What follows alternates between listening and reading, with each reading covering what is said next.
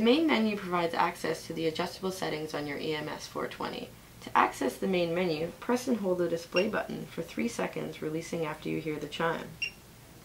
Navigate through the menu using the plus or minus buttons and use the display button to select an option.